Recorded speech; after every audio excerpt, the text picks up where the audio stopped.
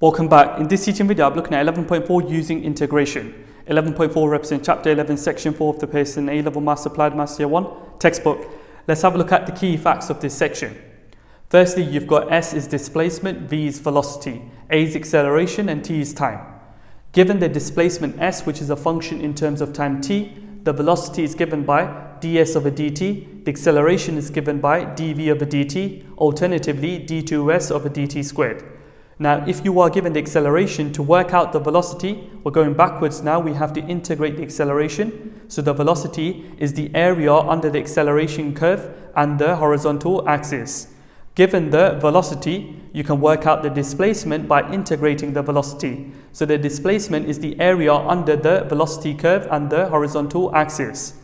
These are the key facts of 11.4 using integration. I'll be implementing these key facts within three exam style questions. Let's have a look at exam style question 1. A particle P travels in a straight line such that its acceleration at time t seconds is given by a equal t minus 3 in brackets meters per second per second. The velocity of P at time t seconds is v meters per second. When t is equal 0, v is equal 4. Find part A, v in terms of t. Let's have a look at the solution to part A. Now to work out the velocity, we have to integrate the acceleration with respect to t. So uh, to work out the velocity, we are integrating t minus 3 with respect to t, term by term. So if we integrate t, we get a half t squared. Add 1 to the power, divide by the new power. And if we integrate minus 3, we get minus 3t plus c, the constant of integration. Now in the question, it clearly says that when t is equal 0, v is equal 4. These are the boundary conditions. We can substitute this into here to work out C. So V equal 4 and then substitute T equals 0. So we've got a half in bracket 0 squared minus 3 in bracket 0 plus C. So we can clearly see that 4 is equal C. Therefore, the velocity equation will be a half T squared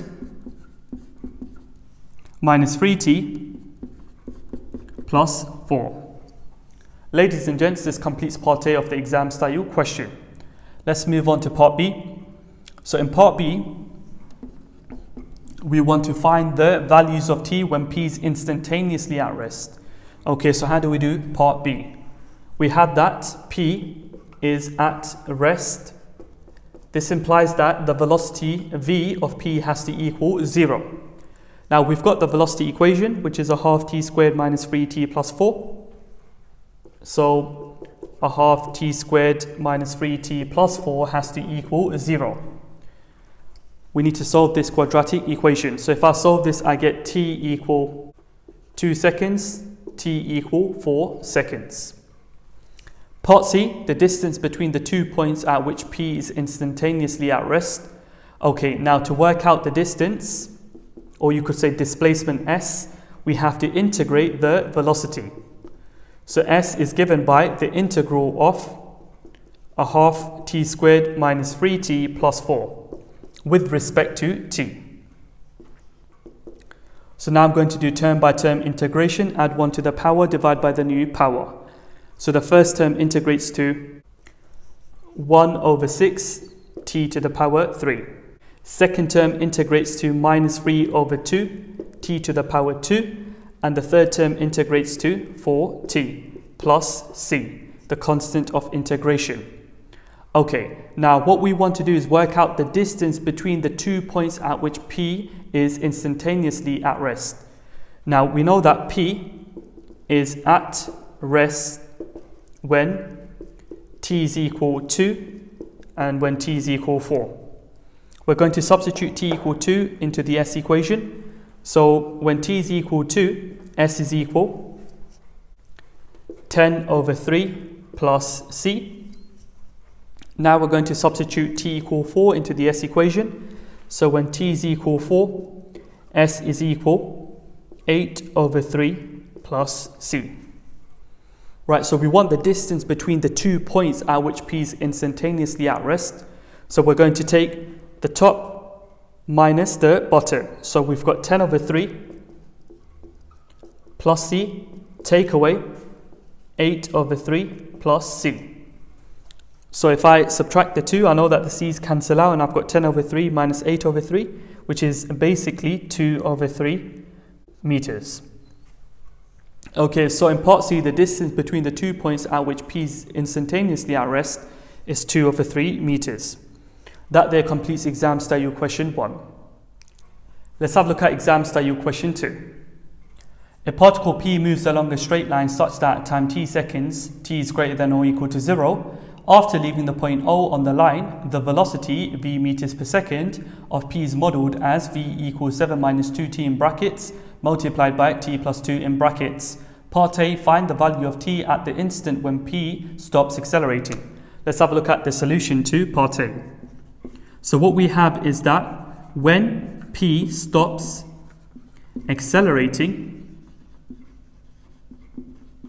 this implies that the acceleration of p is equal to 0.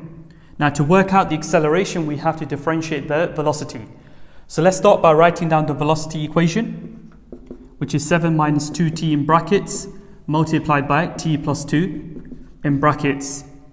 We need to expand this before we differentiate it. So the velocity v is given by 7 times t, which is 7t, 7 times 2, which is 14, minus 2t times t is minus 2t squared, and minus 2t times 2 is minus 4t.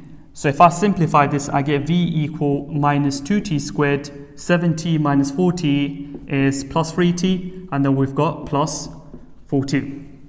Now we can work out the acceleration equation. So the acceleration is given by dv over dt. So differentiate term by term, you get the first term, which differentiates to minus 4t, the second term, which differentiates to plus 3, and the third term differentiates to 0. So we have that p stops accelerating, which means that a is equal to 0.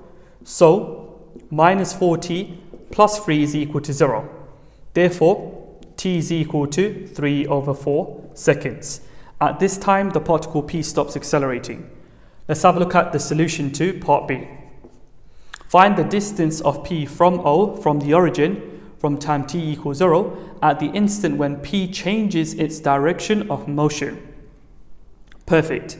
Right, what we have is that p changes its direction of motion. What does this imply?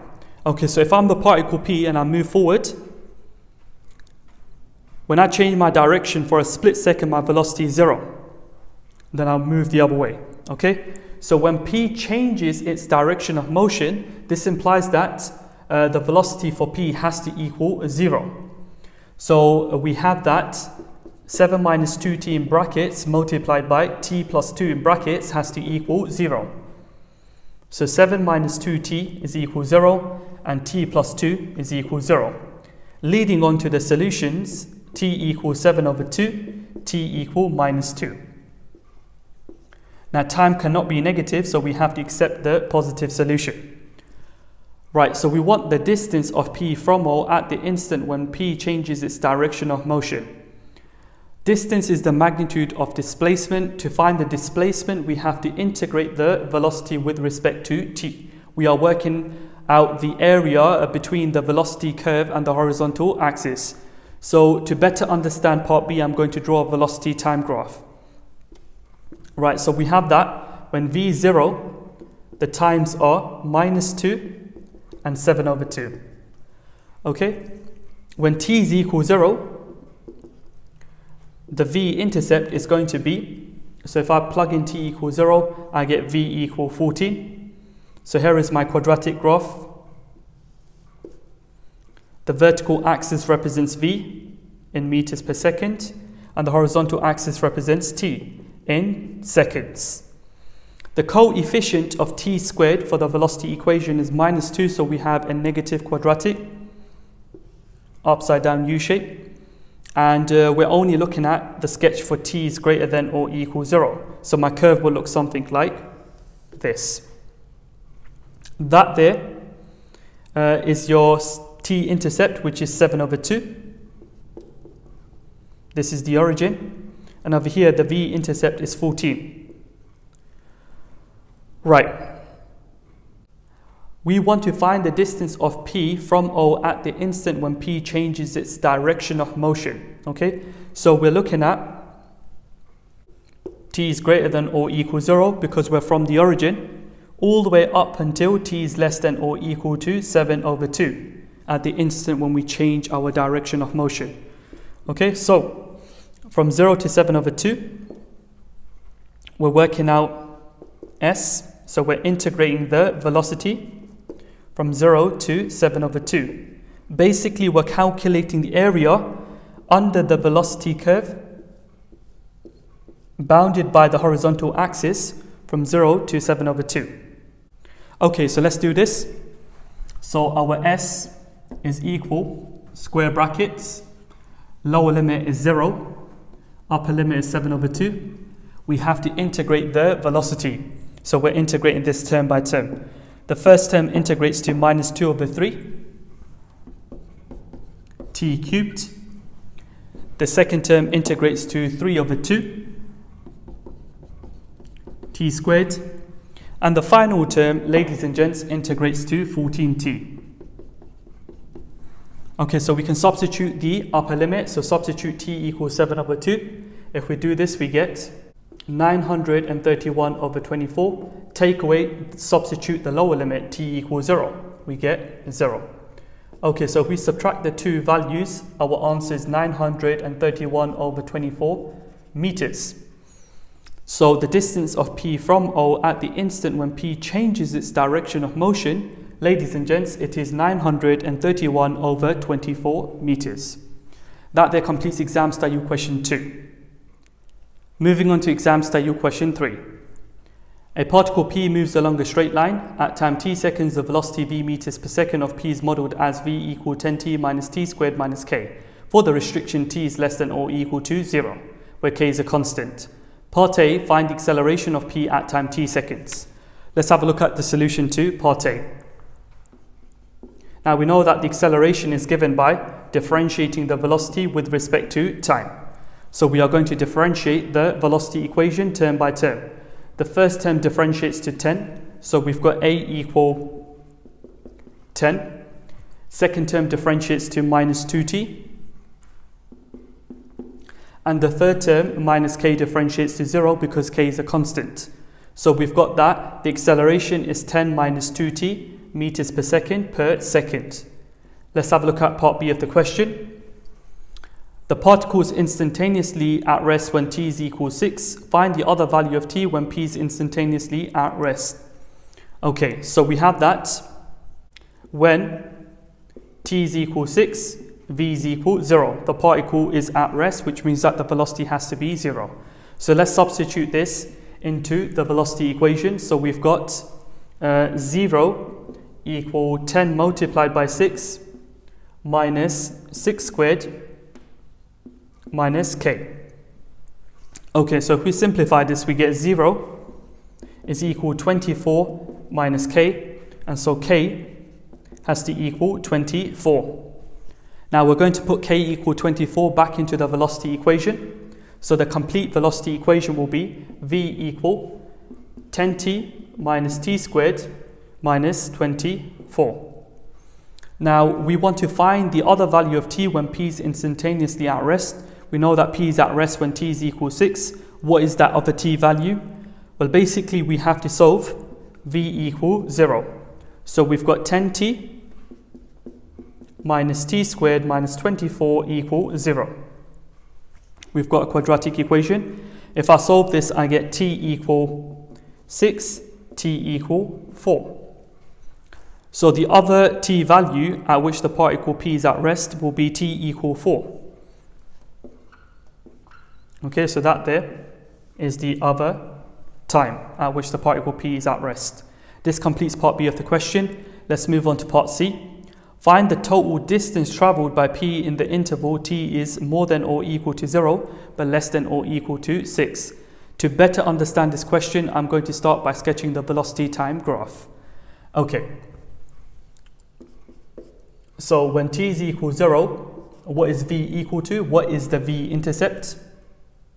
Well, if I substitute t equals 0 into the velocity equation, I can see that I'll get v equal minus 24. So that is the v-intercept. Now let's work out the t-intercepts. This is calculated when v is equal 0. So we have 10t minus t squared minus 24 equals 0. If I solve this, which I've done over here, I get t equal 4, t equal 6.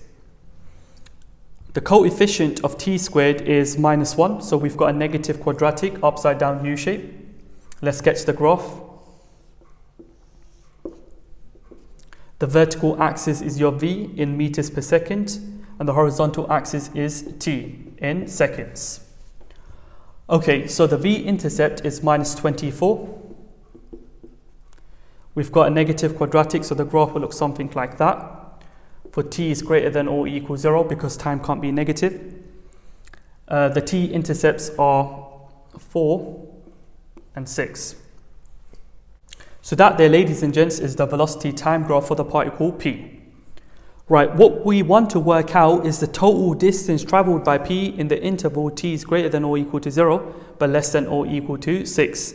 Now distance is the magnitude of displacement, to get the displacement, we have to integrate the velocity with respect to time. So we're working out the area under the velocity curve bounded by the horizontal axis. Okay, so for t is greater than or equal to 0, but less than or equal to 6, what is the distance given by? Well, we can see that from the interval 0 to 6, the area between the curve and the horizontal axis will be this area plus this area here. Okay, so we've got um, that area which is underneath the horizontal axis, it will be a negative area, but we take the magnitude, the absolute value. So the absolute value integral of v dt, okay, from the limits 0 to 4, plus uh, this area here, which is above the horizontal axis, it will be positive, so we don't need to take absolute values. So plus the integral from 4 to 6 of v dt. Okay, so let's have a look at this. We've got s equal absolute value. Let's put square brackets in. Uh, we're going to integrate the velocity equation term by term. Okay, this one here, term by term. Add 1 to the power, divide by the new power. So the first term integrates to 5t squared. The second term integrates to minus 1 over 3t cubed. And the final term integrates to minus 24t. And we're taking limits 0 to 4. Plus square bracket. We've integrated the velocity, so it's just that one there. We've got 5t squared minus 1 over 3 t cubed minus 24t, taking limits 4 to 6. Right, so I'll just continue here. So s is equal to, substitute uh, t equal 4 into here. This will give us minus 112 over 3. Take away, substitute t equals 0 into here. That will give us 0. Okay, plus